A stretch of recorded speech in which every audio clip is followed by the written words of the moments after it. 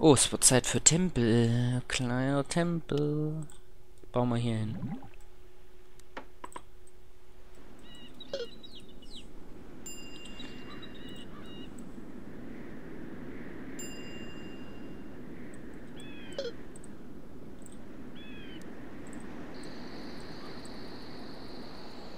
Äh, Fähre. Fähre entladen. Weil ich gerade sehe. Kampfkraft liegt bei 52%. Sehr gut.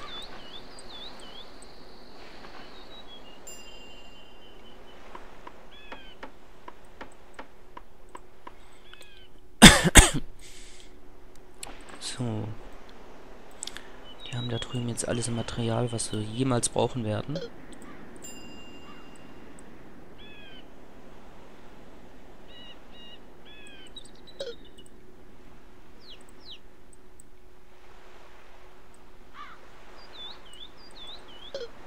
Die Ägypter sind doch schon ganz schön weit weg noch.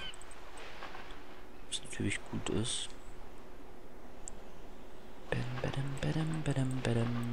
Soldat?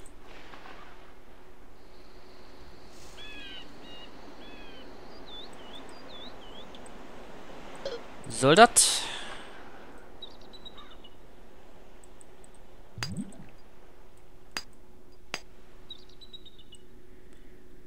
Da wird unser Mana aufgefüllt. Sehr gut.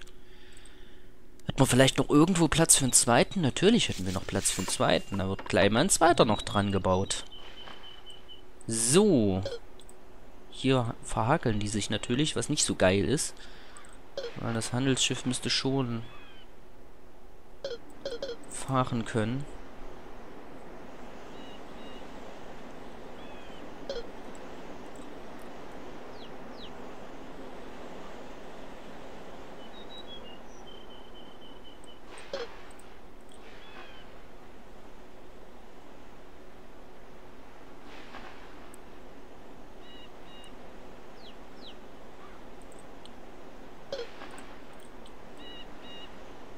Nicht beirren lassen, ich habe die gleiche Route wie du.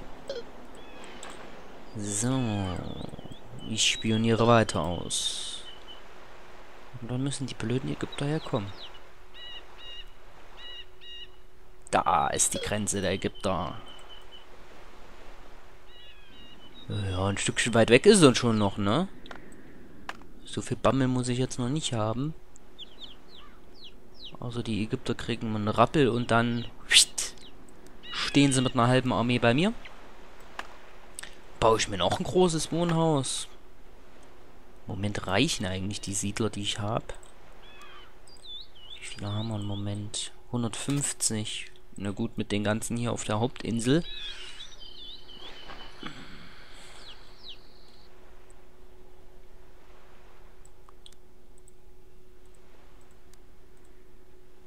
Ja, gleich können wir Mana-Aufwertung machen. Sehr gut.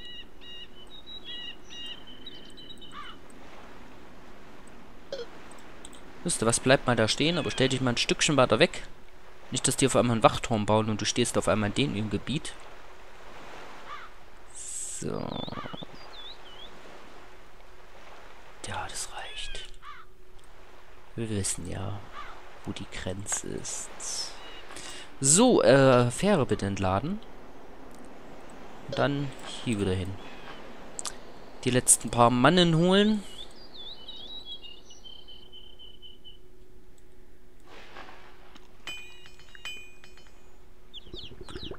nur zu wenig Siedler? Ach nee. Die Eisenschmelze hat zu wenig Kohle.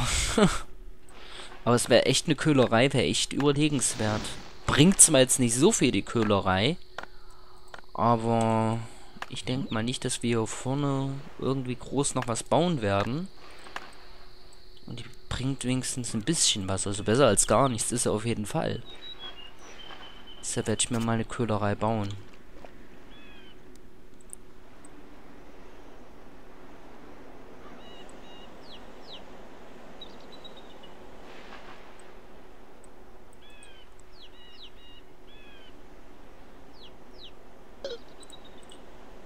Bitte aufladen, die letzten paar Soldaten. Gut. Und Abfuhr.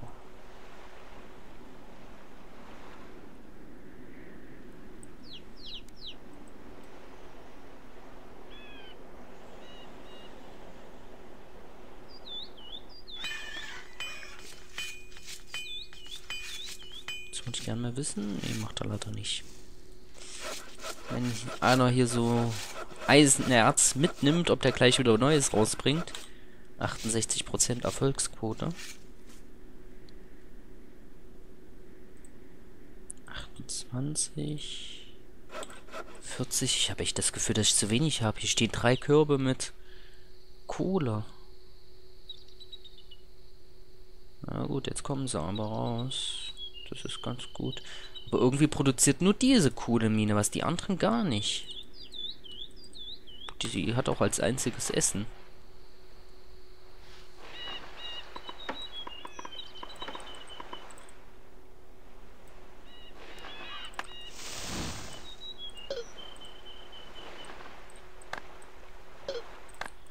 So, zeige mir her, was haben wir denn jetzt für eine Armee? Eine beträchtliche. Ich weiß aber noch nicht, ob es reicht, um die Ägypter ans Bein zu bissen. 55 Prozent. Hm.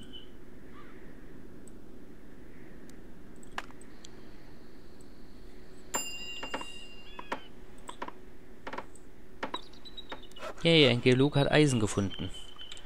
So, okay, die Köhlerei macht sich ans Werk. Gold gibt's auch schon ein bisschen was.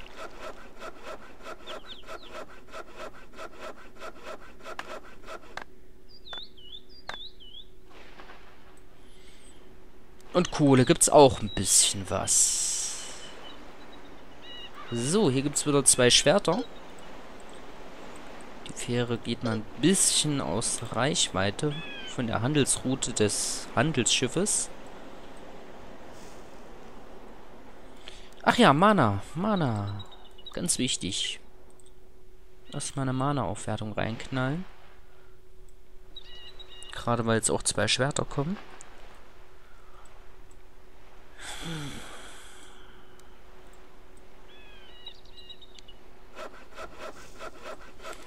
Weiß nicht, ob ich es wagen soll. Aber schätze, ich mache es einfach mal. Ich warte einfach noch. 57% im Übrigen. Ich warte jetzt noch, bis die hier ihre Schwerter abgeliefert haben.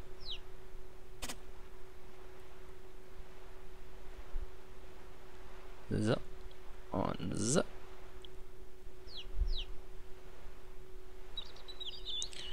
Und schon haben wir zwei Schwertkämpfer mehr.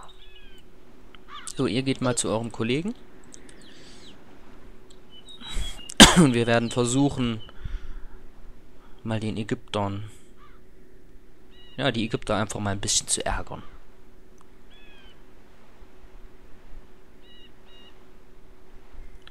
Mit unserer kleinen tapferen Armee.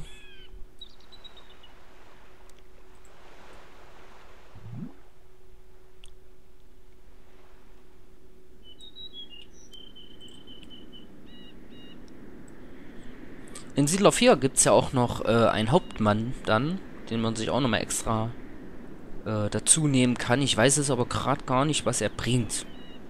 Der Hauptmann. Den gibt es hier noch nicht, aber was der Hauptmann in Siedler 4 bringt, weiß ich leider noch nicht. Muss sagen, Siedler 4 mochte ich nicht so ganz wie Siedler 3. Für mich ist Siedler 3 immer noch äh, so ziemlich der beste Teil der Serie. Muss ich ganz ehrlich sagen.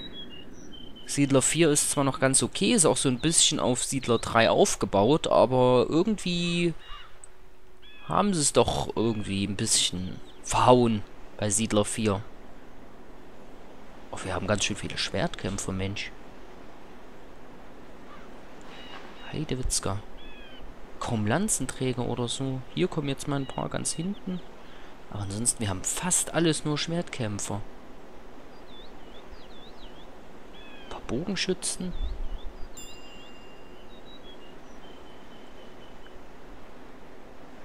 Nicht schlecht. So.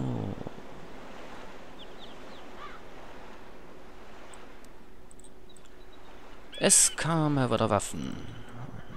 Ein Bogen und eine Lanze. Da mehr. Ja klar, 39 Schwertkämpfer, 6 Bogenschützen, 4 Lanzenträger. Warum haben wir so viele Schwertkämpfer? Hm. Sachen gibt's. Okay.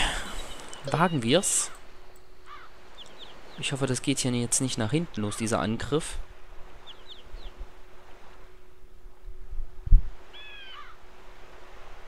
Und ich hoffe mal, die Ägypter haben nicht Gold oder so.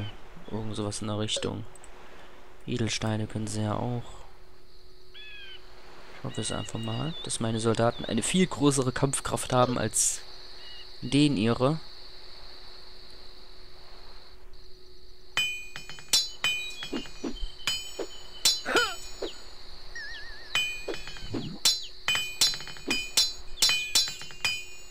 Jawohl, schon haben wir den Ostenwachturm eingenommen.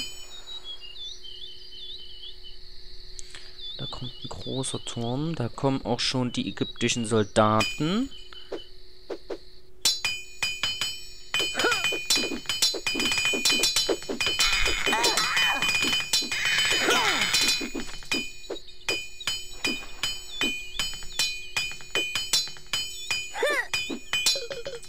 Hier, kommt mal her.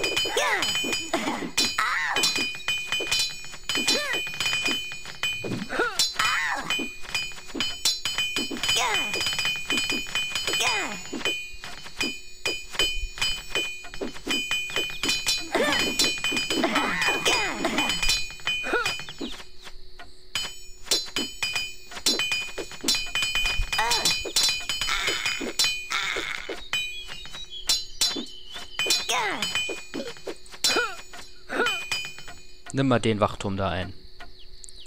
Ja, das lief doch jetzt gar nicht so schlecht.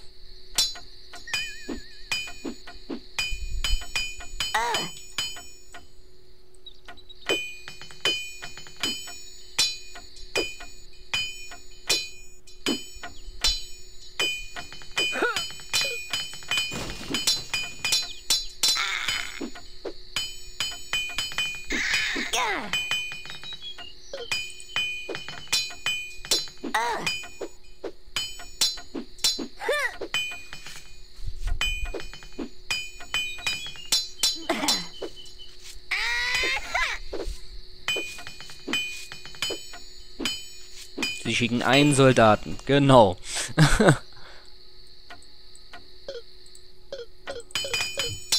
Hierher. Hier. Och, Mensch, diese Soldaten.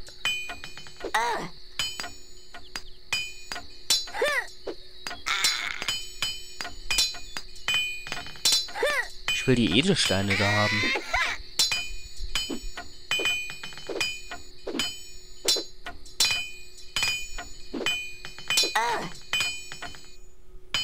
Und der nächste bitte. Dein Level 3 Schwertkämpfer.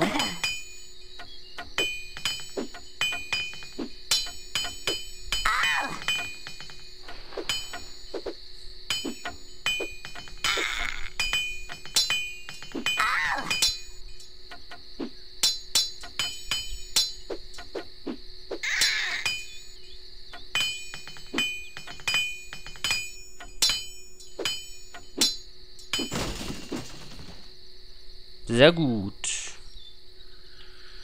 Aber die Edelsteine scheinen gar nicht für mich zu zählen. Leider Gottes. Die Kampfkraft wird zumindest nicht höher. Na komm, solange wir noch ein paar Soldaten haben, können wir auch noch ein bisschen weiter ins Landesinnere marschieren.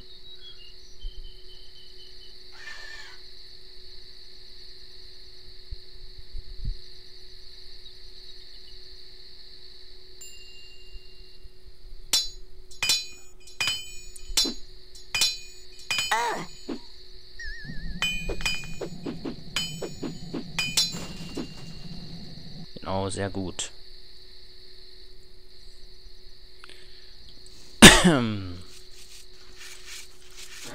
Lagerwanze.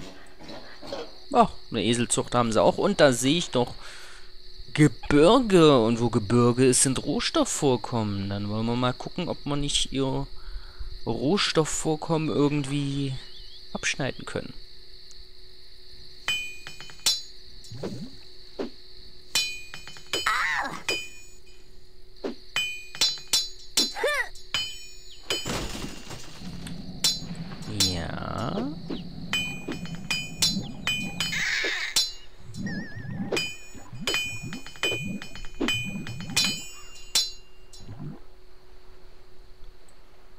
Gar nicht viel.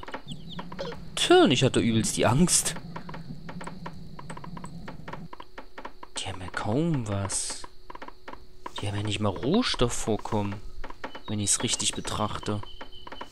Lohnt sich ja gar nicht. Gibt's ja gar keine Kriegsbeute hier.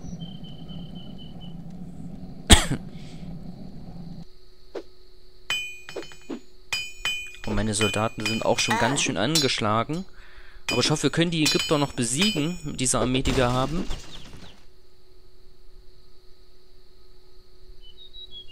Genau, dann zieht euch mal alle hinter die grüne Grenze zurück. Da haben wir eine Kaserne.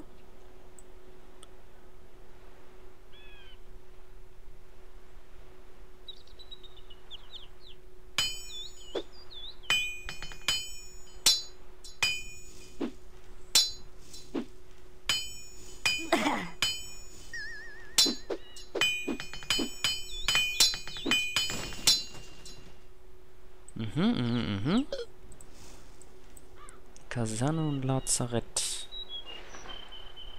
Oh oh, da kommt jetzt ein Lanzenträger, glaube ich. Also sie haben doch noch Rohstoffvorkommen. Muss man jetzt so schnell wie möglich die Kaserne wegmachen. Na hallo!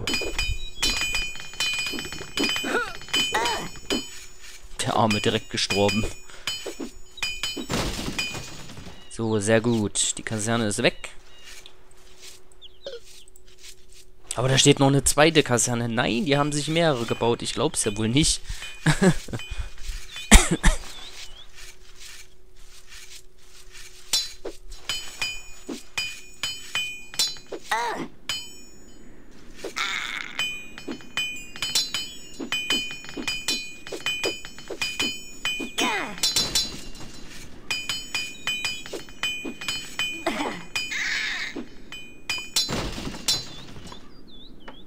das läuft doch super für uns. Jetzt haben wir den auch ein bisschen den Rohstoff gekappt. Ich glaube, jetzt sind sie chancenlos.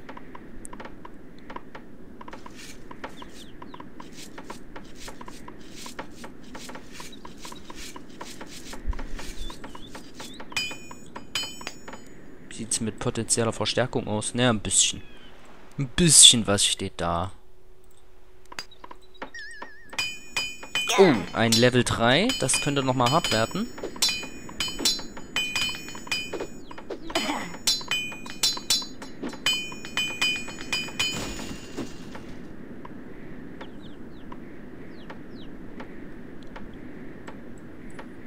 Ach, kommt schon, Leute. Viele habt ihr noch. Kann ja gar nicht mehr so viele sein.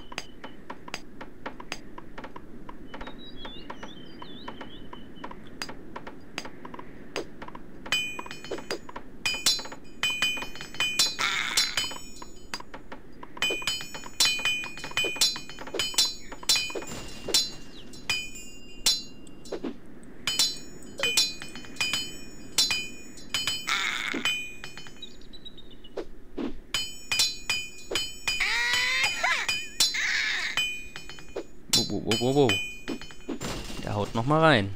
So. Das ist doch auch mal was. Wir haben sie getrennt. Jetzt sollten sie keine Chance mehr haben, aber... Damit kommen wir nicht mehr weit. Wir brauchen Verstärkung. Das ist jetzt zwar auch nicht so viel, was jetzt kommt, aber mehr als das, was wir jetzt haben. Und sie sind frisch, die Soldaten. Ganz wichtig. Wie sieht's denn aus? Kommen neue Waffen mit dann? Ach nee, der ist gerade am Zurückfahren.